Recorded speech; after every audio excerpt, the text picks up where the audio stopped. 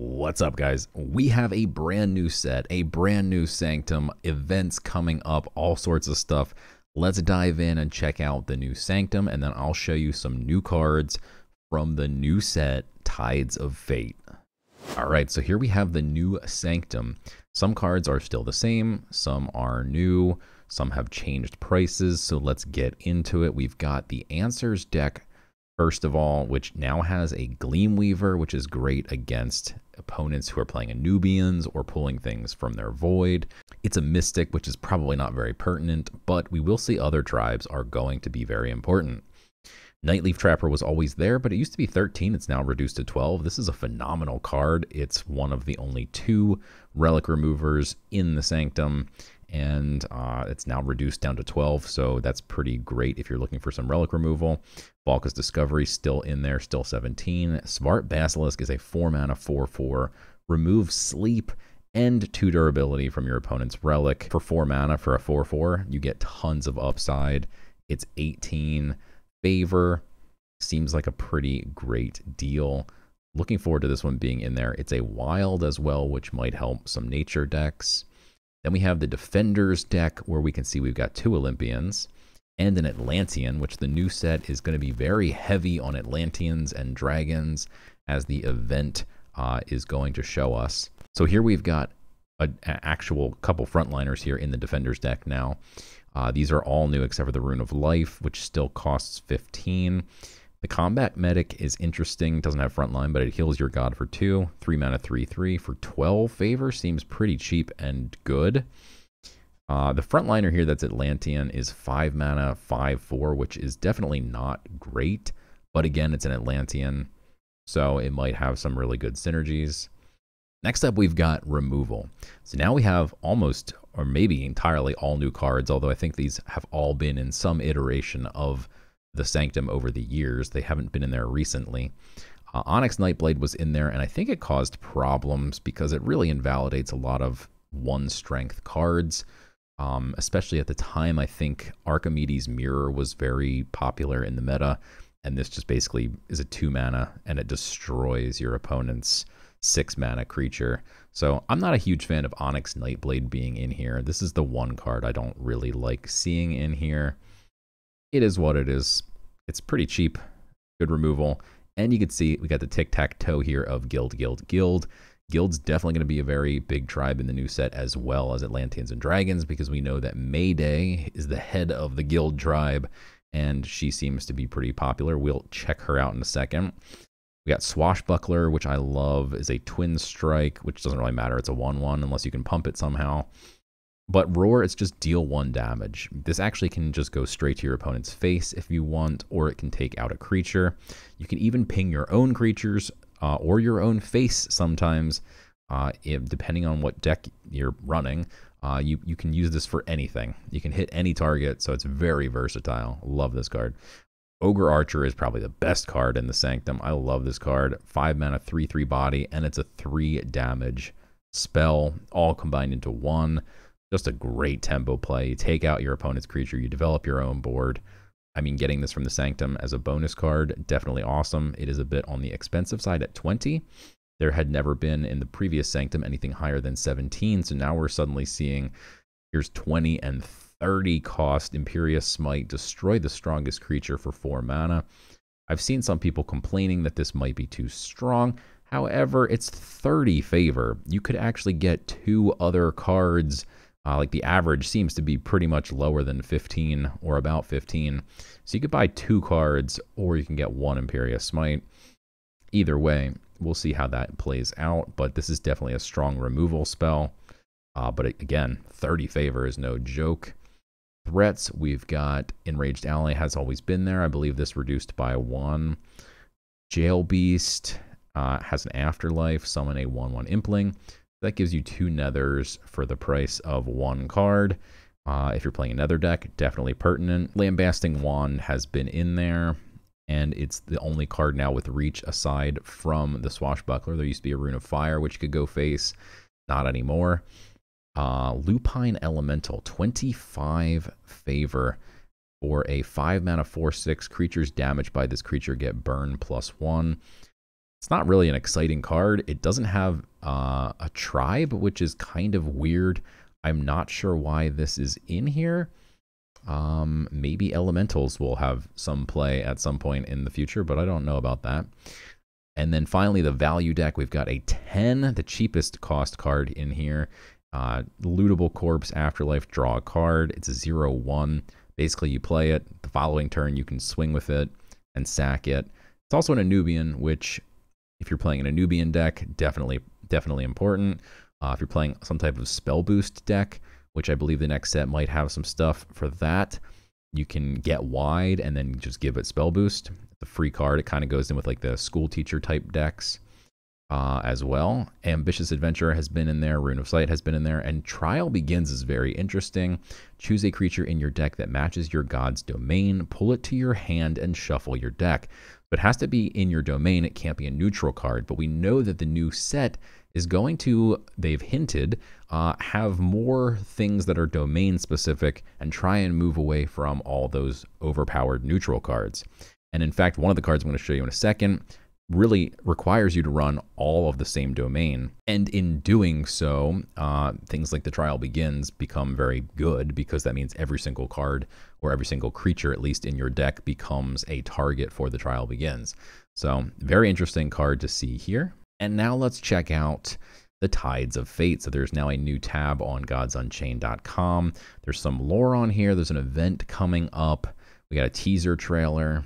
Across these seas lie lands unknown, fateful words told to us long ago, before you were lost. Now, I must tie my fate to thieves and rogues, venture out beyond the waves, to follow rumors of a city of white stone, where industrious peoples craft marvelous inventions, tales of an island of fire, and dragonfolk who live as one with the land. Old friend, Yukos is bigger than we ever imagined. But wherever you are, I will find you. For fate will lead me to your shores. Coming October 25th, so we have a date. Uh, we get to see some of the locations, some of the players here. We saw Aiko is still part of this.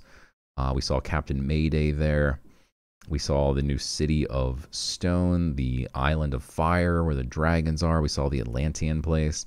Let's check out some of the cards that they've highlighted so far. So we have Blade of the Creator is super interesting to me. It's a 5 mana 0 5 relic. However, at the start of the game, if your deck contains only light cards, put this in your mulligan and set its mana cost to 0.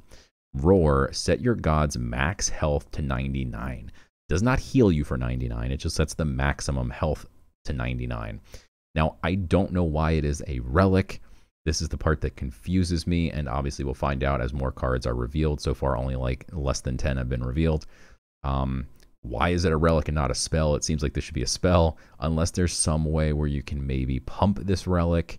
Uh, it does look like it's growing uh, in power here, and it does say it's uh, infused with the power of the first being uh, zero power for the first being is not very powerful. So, will light suddenly have ways to pump relics? I don't know. Uh, we'll find out. But this is a very interesting card.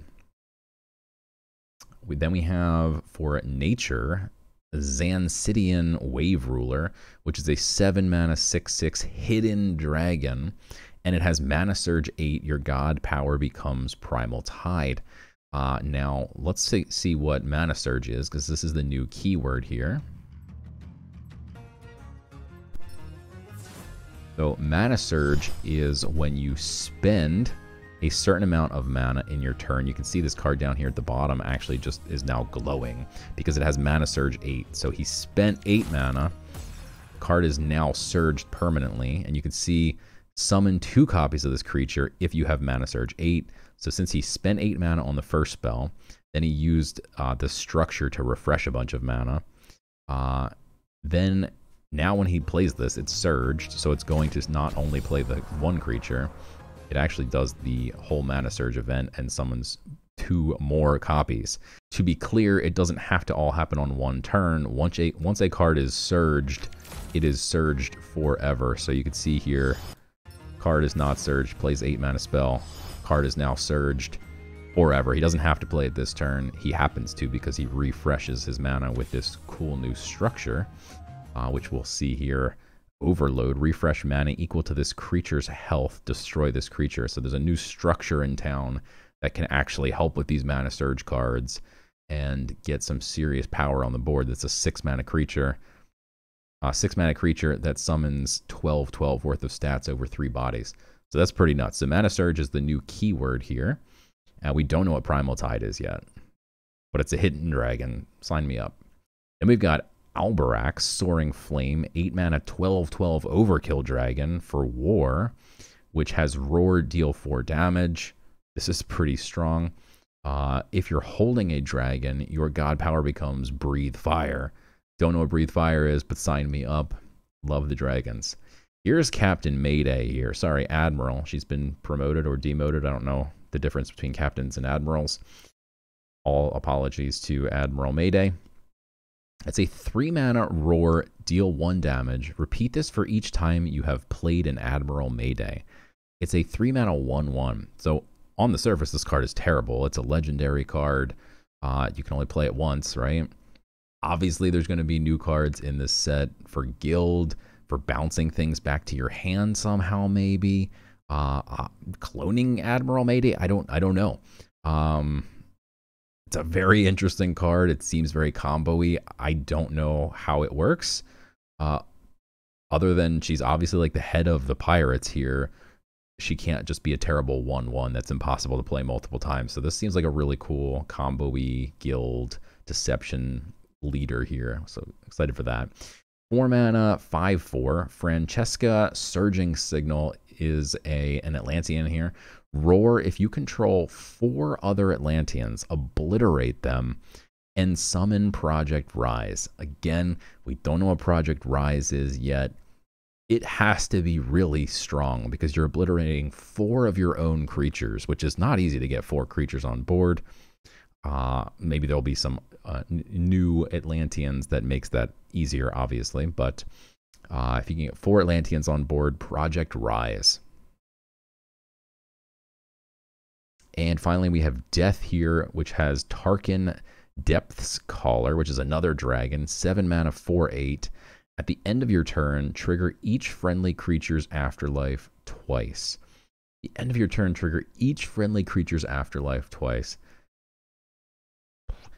This seems incredible because you can already have the afterlife creature on board, and without it ever dying, you know, you can then play Tarkin and it's gonna it's gonna trigger it twice, which I don't I don't know what new afterlives there will be from the new set, but I'm picturing things like rock drake eggs, um, bomb flies, all kinds of. There's a million things with afterlives that uh, are gonna proc twice.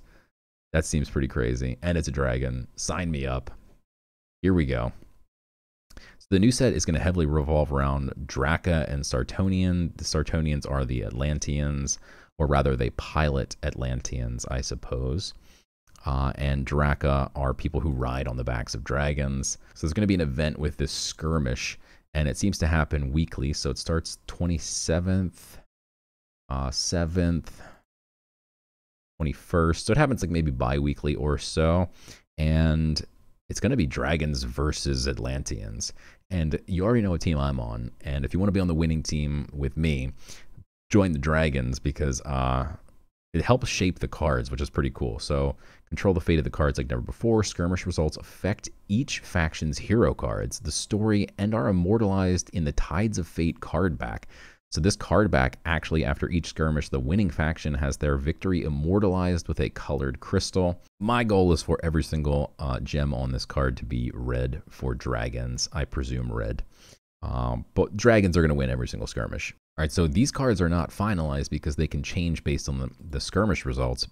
But we can see the dragon is just a plain old 5 mana 5 5 roar, draw two dragons, which is great on the surface. A five mana five five that draws two cards is insane.